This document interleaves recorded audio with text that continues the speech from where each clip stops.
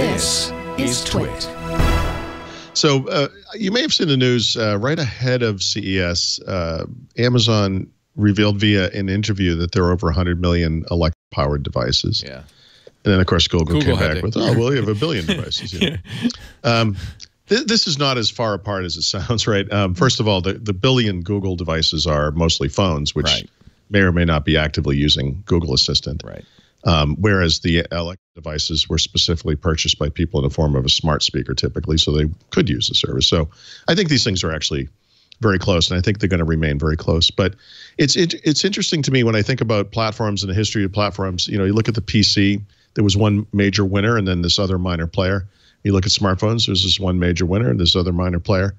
And when you look at uh, digital assistants or ambient computing, whatever you want to call that, it's not really working out that way. Um, and I, there are secondary players like Bixby and Siri that will remain po- uh, popular just because they're based on smartphone platforms that are used by hundreds of millions of people. And uh, what we've seen so far, and this is very different from, you could go back to the earliest days of Commodore 64 versus Atari or whatever. Um, it was always very difficult to support uh, different platforms, you know, and it's one of the reasons why you don't see multiple platforms of computers or phones or whatever.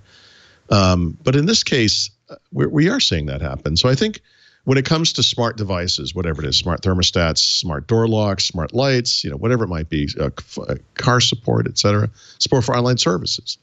Um, it behooves all of these companies to support all the major players. And so, regardless of the actual numbers, I, I would just say at this point, it's very clear that Google Assistant and uh, Amazon are both top tier choices. They're always going to be supported.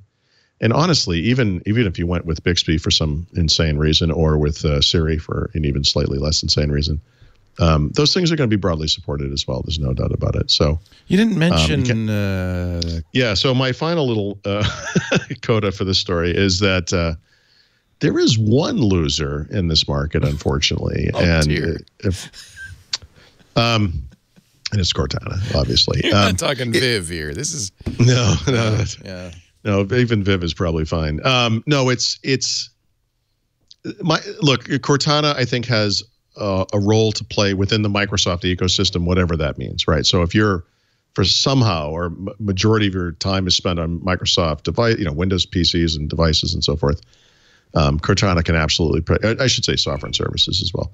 Um, Cortana can play a role there, and actually, for now, it's a fairly unique role, right? Your Google Assistant doesn't have a lot of insight into this world uh, today, you know, and that may change. We've already seen the first steps toward that with integration.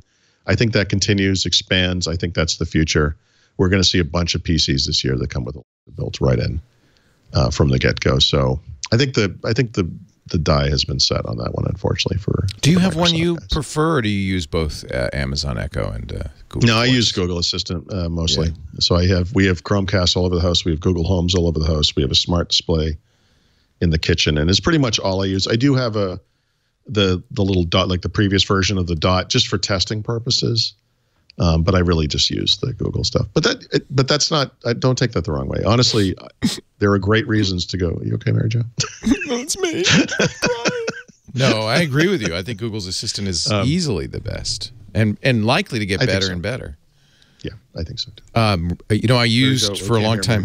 Oh, I turned her off. I didn't want her to get Oh, sorry. get involved. Go ahead.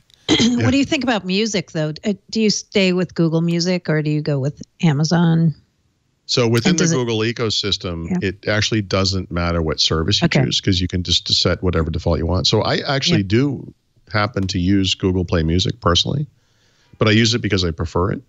Uh, Yeah. The rest of my family uses Spotify, and so it one works of the with neat Spotify, is- though, right? I mean, Yeah. So if you go to our one of the Google Homes or to the um, the smart display, and if you were my wife, and and you say I want to play whatever playlist, it recognizes her voice and does it over Spotify. Mm.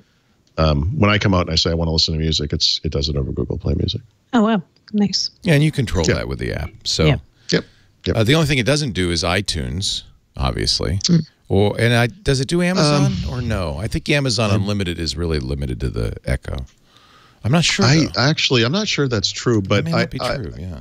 it, if it is true, it won't be true forever. And by the way, for whatever it's worth, not that this is like a big story for our show, but uh, I do think you're going to see iTunes slash Apple Music appear everywhere.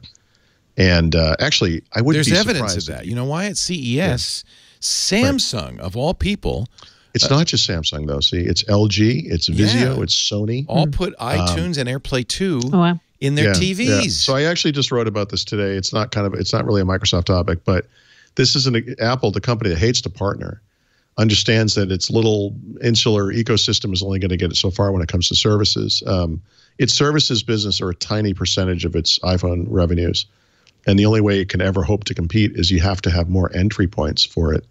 Um, they want to launch a TV service. It has to be on your TV. It has to be on your Roku. It has to be on your Fire TV. I think those things are all going to happen um, they've finally woken up to this. Um, this company hates to partner, but they've been, you know, obviously they're forced to. So Google uh, does not support. Here are the uh, here are the music and audio choices: YouTube Music, obviously; Google Play Music, obviously; Spotify, Pandora, and Deezer. Yeah, so I bet that changes. Um, Well, certainly starting to see Apple has become more open to the idea of being on other people's platforms. I Apple mean, is on that's Echo now, is surprising. it not? Uh, yes, which So means why would you buy a me. HomePod, right? Well, why, that's a good question in any case. Um, but well, it's just so stupid expensive. But um, you know, they Google I bought, has this you thing. know, for Henry for Christmas. I really thought long and hard because he uses Apple Music, but he also Yeah. he prefers Spotify, I think. Uh, And I got him a Google Home Max because yeah, because it connects to any Chromecast connected speaker it sounds just great. as well as it. It's, yeah, it sounds. wonderful. In fact, some say sounds better than the HomePod. I certainly Spotify is fascinating to me because it supports multiple protocols. So from within the app, Yeah. you can choose from multiple different kinds of speakers. I like Um, that. The list Home of speakers That's I can connect awesome to from my phone is ludicrous. Yeah, like so, yeah. when I go up and shave and clean up and stuff, I'll listen to a podcast or an audiobook, and I have to cast it to the speaker in the bathroom, and the thing populates over time. So oftentimes I'll hit a button, and then my wife will be like, "You're playing music in the kitchen again," or you know, like is it like I hit the wrong? You know what I mean? Because it, it, it's kind of up. Can you do multi-speaker Sonos style multi-speaker audio? Oh yeah, that's exactly what we do. So I Oh, have nice. Mm. wonderful speakers out in the sunroom in my office, in that room, and in the kitchen.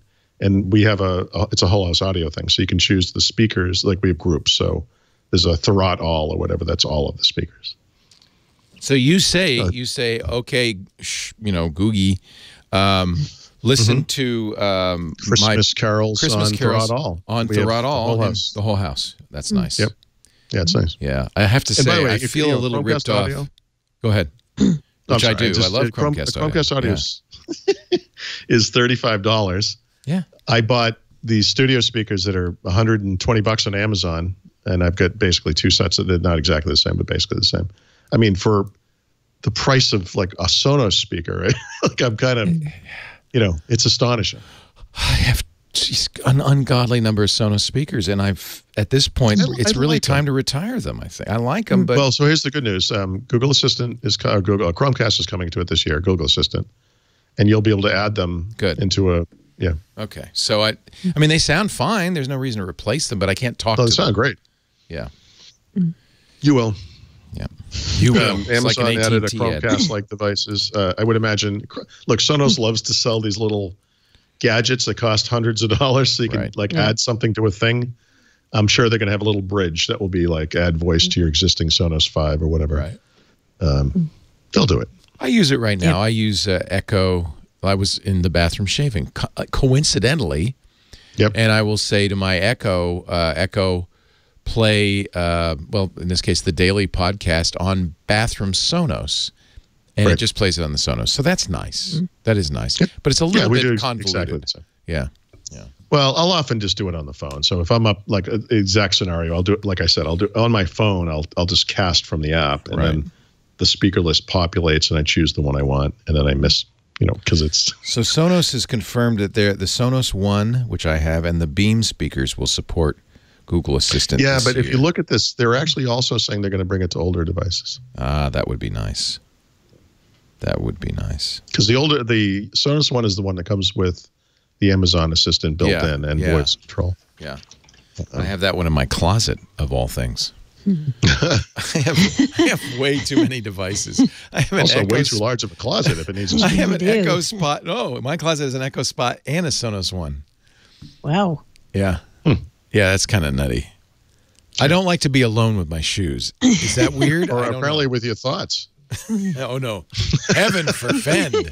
There's silence anywhere in the room.